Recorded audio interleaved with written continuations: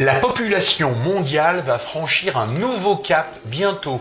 En novembre 2022, on sera exactement 8 milliards sur Terre. Tu te rends compte? Euh, alors moi négatif, hein. pas question. Alors là négatif. Pas question de, de quoi? Bah d'héberger euh, quelqu'un encore chez moi. Attends, il y a plus de place hein, entre les gosses, le chien, ma femme, le, le chat, les perruches, le cochon d'Inde, tout ça. Non, les poissons rouges, moi, il y a non, faut pas me prendre pour un pied de cochon. Attends.